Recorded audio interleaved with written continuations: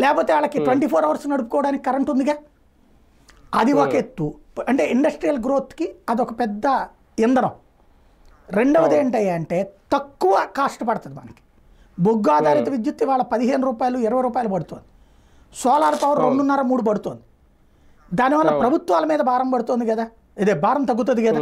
ఇప్పటిదాకా solar power అంతకు పెట్టి మనకి నాలుగు రూపాయలకు ఐదు రూపాయలకు పది రూపాయలకి ఇస్తున్నప్పుడు వాళ్ళకి ఆ సబ్సిడీ భారం పడుతుంది. ఇప్పుడు ప్రభుత్వాల మీద ఈ కరెంటు భారం తగ్గుతుందిగా.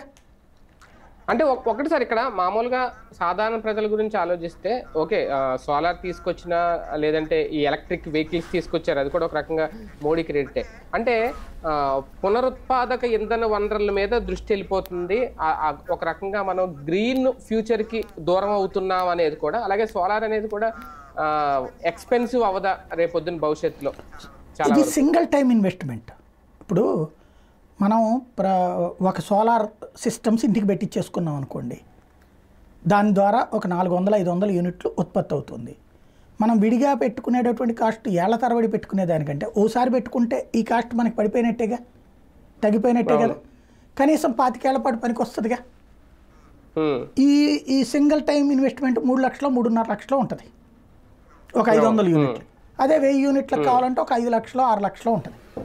ఒకసారి పెట్టుకుంటే ఇంకోటి మనం వాడకపోతే ప్రభుత్వం డబ్బులు ఇస్తుంది మనకి. కదా? దాంతో ఇక్కడ ప్రభుత్వాలు అక్కడ ప్రోత్సహించాలి. వాళ్ళు వెంటనే డబ్బులు ఇచ్చేటట్టు.